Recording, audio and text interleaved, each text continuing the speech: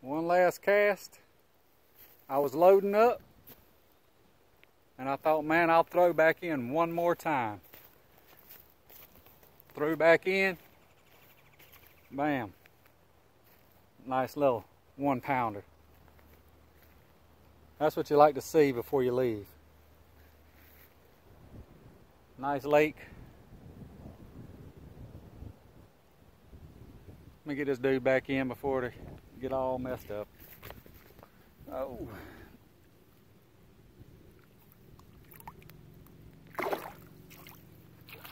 That's what we like to see. All right, y'all have a good day. I caught several today, but I thought that was funny. Just one more cast in, right there in about two foot of water. Little Yum Dinger, wacky rig.